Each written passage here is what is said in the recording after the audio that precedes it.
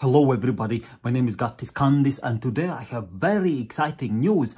I invented a shortcut. Let me explain.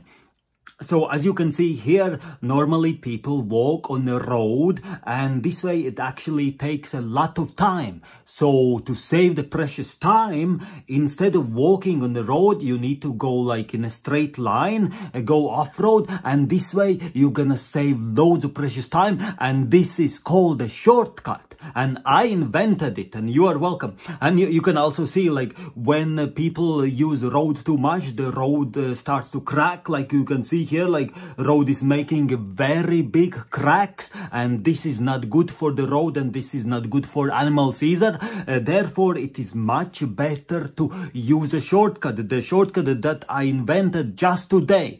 Uh, before today the shortcut is never invented. And you're very welcome and thank you so much for watching and i will speak to you soon